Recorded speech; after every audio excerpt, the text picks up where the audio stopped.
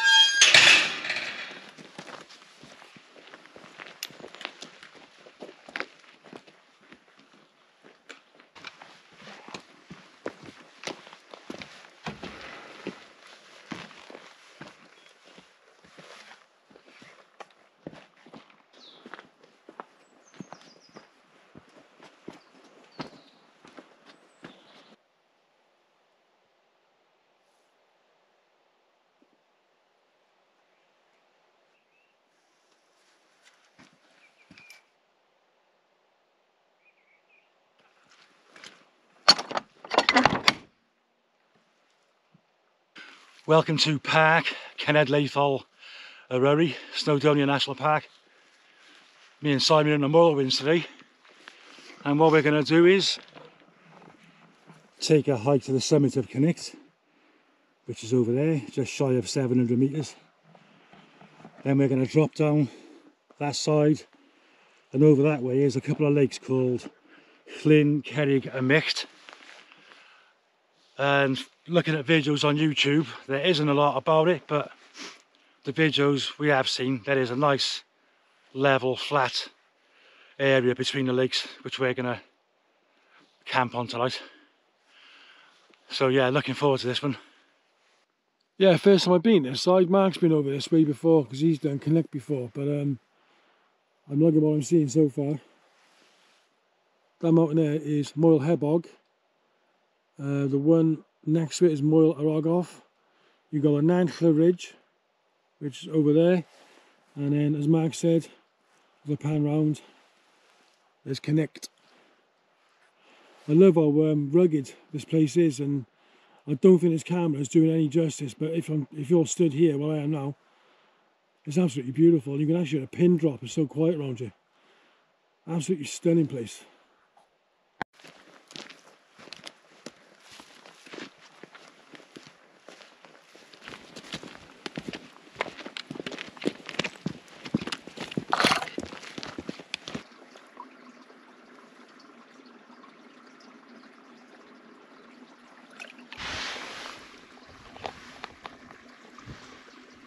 I love how this route is signposted. Straight up there.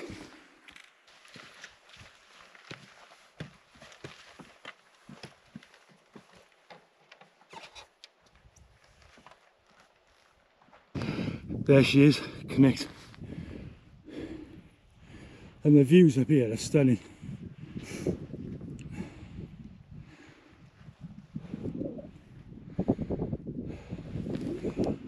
Porthmadog in the distance. Moelwyns over there.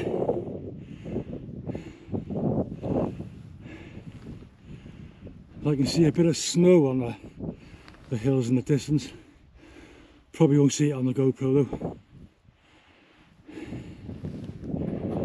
Yeah, spectacular.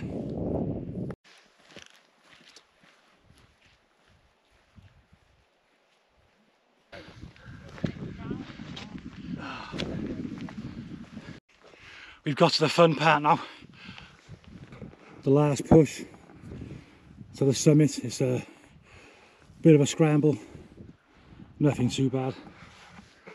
So I'm going to put my poles away now.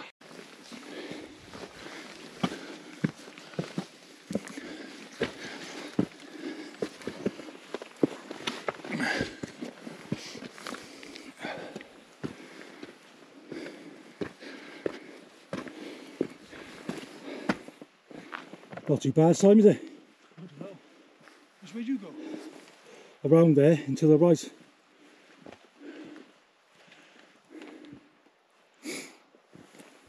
Welcome to Cnicht Summit. And what a view. So we're going to have a quick coffee and we're going to head down towards the, the two lakes in the distance. I don't know if you can see them. And that's where we're camping tonight.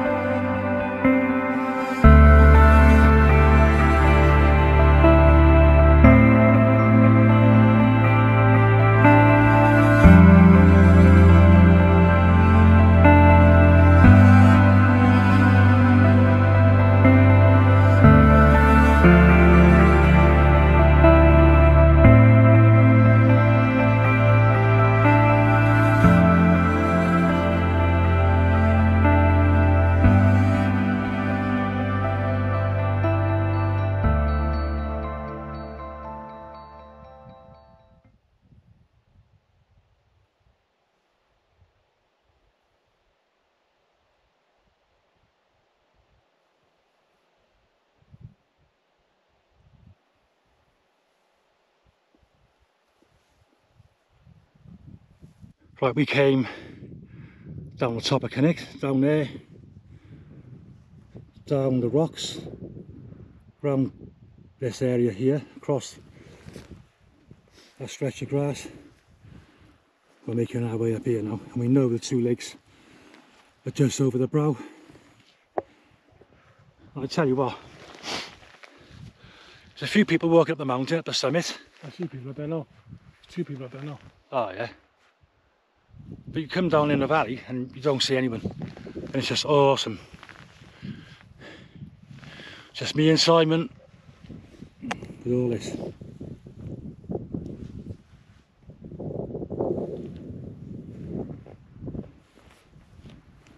Can Carnarvon over there in the snow. Right, let's push on.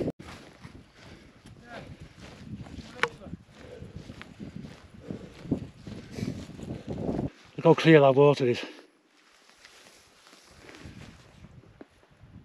Look at this place. Made up of this.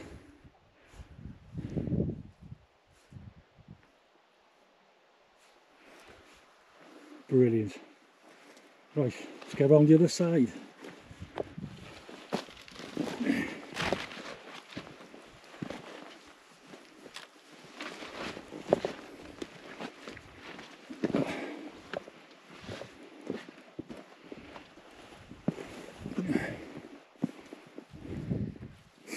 There's the first lake there we come across. And down there is the second lake.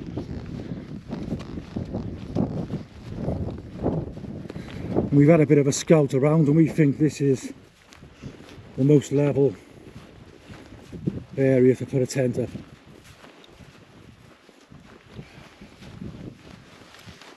So we're going to put a tent up there. We've got a bit of protection from the rocks if it gets windy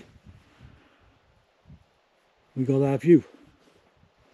The tent we are going to use tonight is my new tent, which is the REI Co-op Flash Air 2. And we decided to use this to give it a try out because uh, we're going to be using this tent in the Via Alpina in Switzerland in June. We're both going to be sharing this tent. So yeah, we brought our, our MSR Access ones, which we left them in the car and decided to try this out. And yeah, so it's the first pitch, first night, we're going to be sleeping in this together and we're going to see how we get on with it. So uh, stay tuned.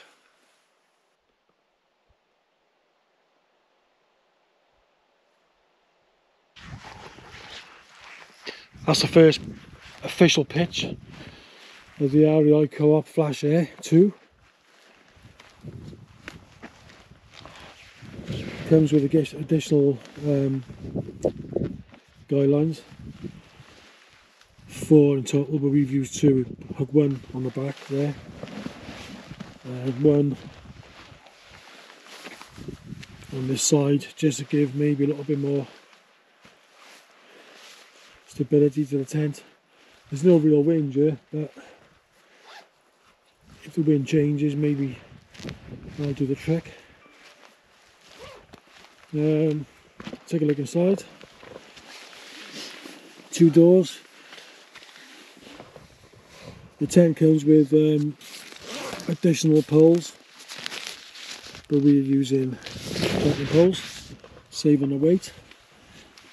Take a look inside. Oh, it's a bit cosy, but I think it's, it's livable. There's my um, sleeping bag and sleeping pad. Marks is there. Fair bit of foot room at the end of the tent there, you can see. So yeah, I'm just I'm pleased with it. The only thing is, I, I hope it's, it's warm enough for tonight because it's pretty cold there, so yeah. And something else I'll point out as well. I'll just slip this footprint underneath, it a bit of protection. That's off another tent. It's not it's not specifically made for this one, but it'll do the job. So there is, the REI Co-op Flash Air 2. And I do like the colour of this tent, it's uh, it's pretty stealth looking. And that's the view we got. There's a lake there. There's a lake over there. Yeah, pretty cool. So that tent, like I said earlier, is going to the Swiss Alps with us in June. Really lightweight. So yeah, we'll let you know how we get on with it through the night. Just hope it's warm enough, that's all. That's my only concern because it's just mesh and single skin, so we will see. Pot noodle, beef and tomato, a couple of protein bars. I'm gonna have a coffee. This is Paned Pen Clean. This one's called Dweevil. Don't have any milk, so I'm just gonna have a brown coffee. I'm trying out my new Wide C gas windshield today. Another bit of kit I'm trying out today. It's my new Katadyn BeFree water filter. Just got some water from a lake. I'll get that on a boil now well. much faster than the Sawyer Mini I had. This is um, it's going to be a game changer in the Alps. This is.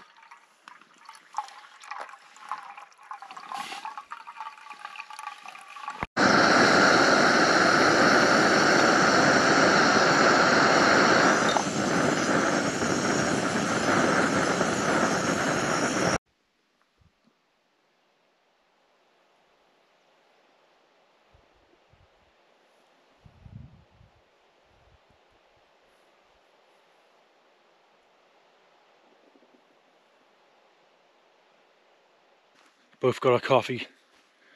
Try and warm up a little bit. It's not um, it's not freezing by any means, but it's still a bit nippy. But it's only the 4th of March, so yeah, it's going to be a bit cold, like. But I tell you what, it is so peaceful.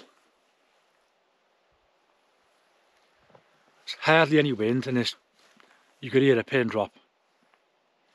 Brilliant.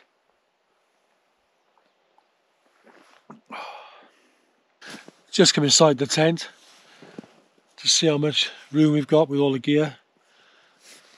Um, I am impressed with that, with the um, headroom of the tent. It's quite a fair gap from the top of my head to the top of the, the roof of the tent.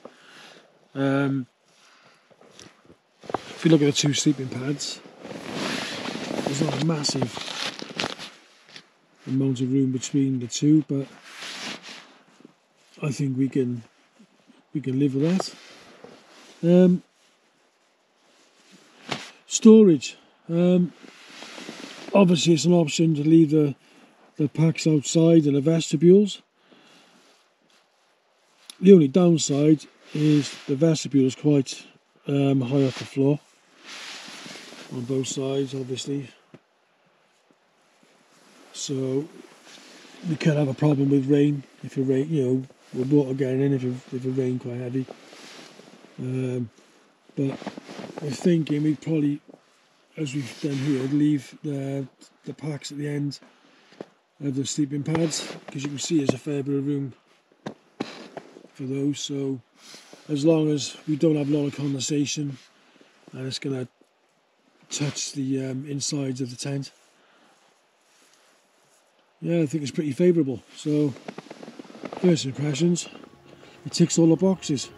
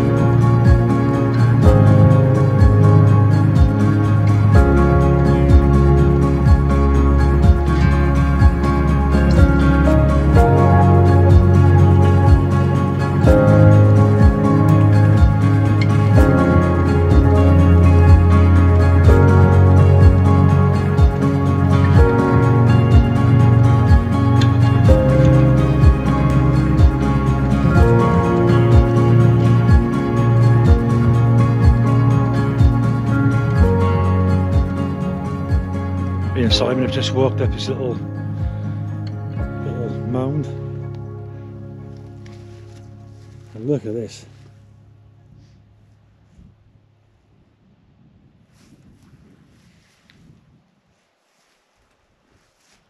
See if you can spot our tent.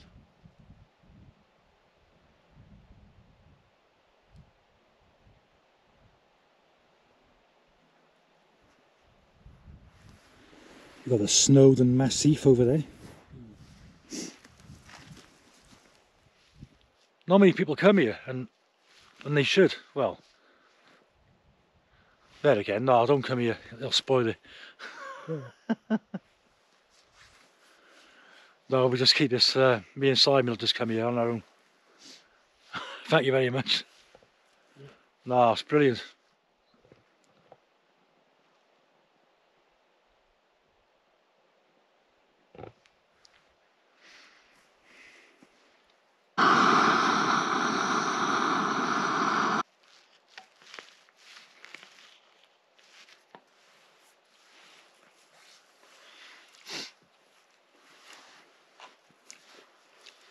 Nice flavour to it. The only thing is a bit dry. I think it needs some like um, like a, a, a sausage chopped up and put in there to make it a bit more interesting, but it's alright.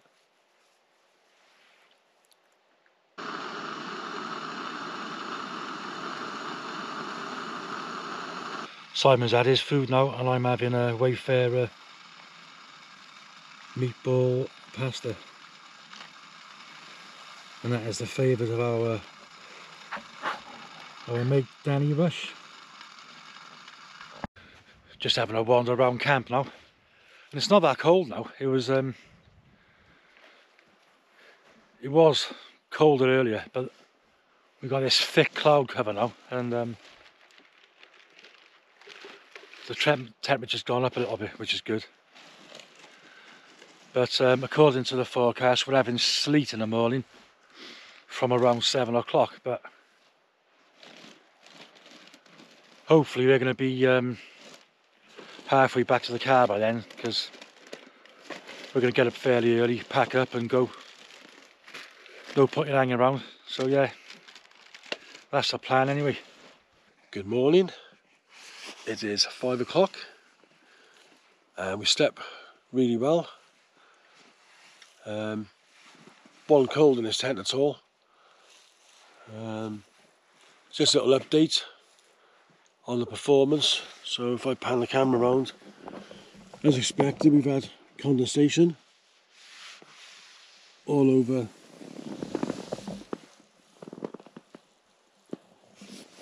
the wall of the tent which is bound to happen. It's a single skin tent and we know these tents are prone to condensation so you know there's two of us staying in here last night so obviously breathing and things like that outside conditions are going to cause this so we're going to get a like a microfiber towel I'm going to carry with me and on future camps I'm going to just wipe the wall down. Um, as there's been no wind last night, it's really really calm outside, no, no wind at all, so that'll be the next test when we take it out next. If we get any high winds, see, how, see if it, how it performs then. So uh, so far so good.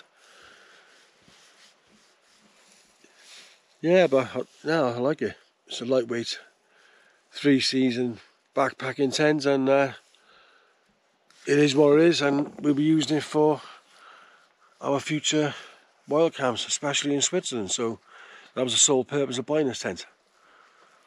So far so good. Got the water boiled. Gonna have a have a cup of tea and a porridge and then start uh, packing everything away. And then first light we're gonna make our way back to the car. Me and Simon are all packed up as usual. No trace left. That's where our tent was. And we're going to head up there through the gap and round the back. Not that much, that much daylight at the moment, but probably just enough that we can see where we're going. This is where we come from, up there. And there's no definitive path, so, but we know that's Moelwyn Mawr. Croesor is over that way where we started off yesterday. We're just going to walk down to the bottom, back up and around that way and we're in the, go in the general direction then as a crow flies. So we shouldn't be too far off.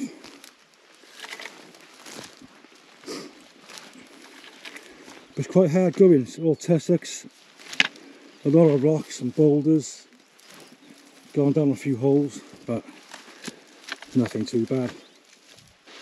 Just come onto this quad bog path now. So if you follow this down there, we shouldn't be far wrong. So yeah, not too bad.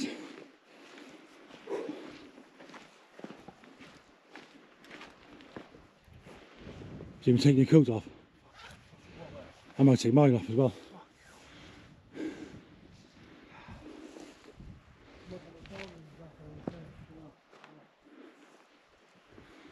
All good fun. Back on the path now, which is always good.